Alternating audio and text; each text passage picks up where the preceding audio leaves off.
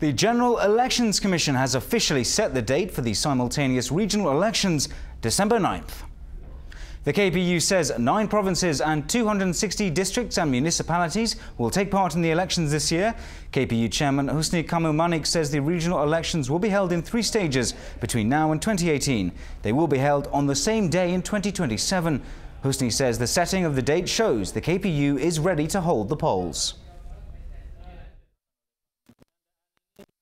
Kami berharap dengan penetapan yang lebih awal, maka partai politik yang akan mengusung pasangan calon, begitu juga para kandidat dari calon perseorangan bisa mempersiapkan diri lebih awal.